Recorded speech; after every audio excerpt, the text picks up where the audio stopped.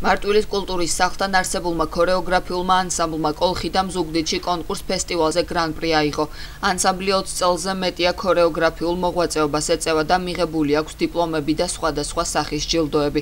წარმატება ანსამბლისთვის რიგით პირველი არაა გასულ წელს სუხიშვილების კონკურს ფესტივალზე პირველი ადგილი აიღო. კოლხიდა საანგარიშო კონცერტისთვის ემზადება. სილოს კონკურსებში მიიღოს მონაწილეობა და არამედ ფესტივალებში.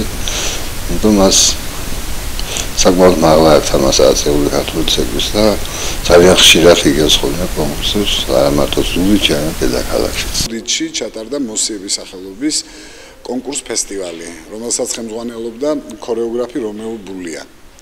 სული ჩამდგმელი და დამაარსებელი არის ამ ფესტივალ კონკურსის. ორ კატეგორიაში იყო შეფასება, ეს იყო პატარებში და დიდებში.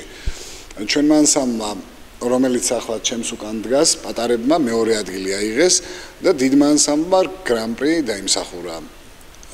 საუკეთესო ფარიკალობა ცეკვისათვის. ახლა ზუგდიდში მოვიპოვეთ გრან-პრი და ამან ყველას მოხდა სტიმული და ძალიან გოგოხარა. ჩვენ 5 წელია ცეკვავთ და მე მახსოვს რომ ძალიან პატარა ვიყავი რაც დავიწყე.